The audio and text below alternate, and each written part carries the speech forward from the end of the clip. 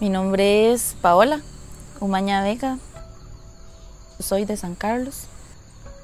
Una de las, de las cosas que, puedo reconocer es, es, ese cambio que ha habido en el, en el paisaje. Ya no soy una chiquilla ni una adolescente, pero tampoco soy una persona tan, tan mayor como para tener que sentir tan chocante y tan fuerte el, cambio que ha habido acá en, en la zona, en los en los ecosistemas.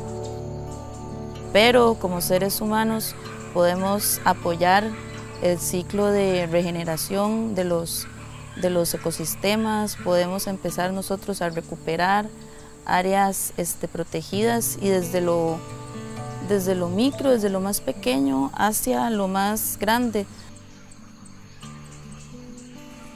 Es importante empezar a recuperar el, espacio público, el espacio urbano de manera natural a través de la reforestación, de la siembra, porque tenemos que empezar a relacionarnos de una manera diferente con la naturaleza.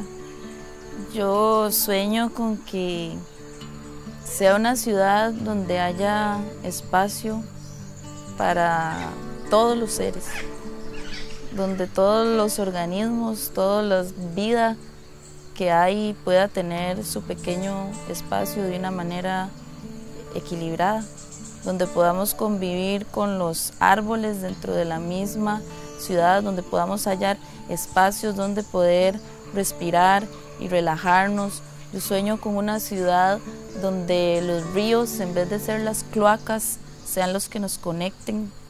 Yo creo que con el proyecto de Huellas del Futuro podemos empezar ya de una manera como con una, una meta a fortalecer este montón de iniciativas. En la región Huetar Norte están saliendo proyectos, propuestas de reforestación, hay iniciativas, hay gente con muchas ganas de sembrar, sembrar, sembrar, sembrar, sembrar.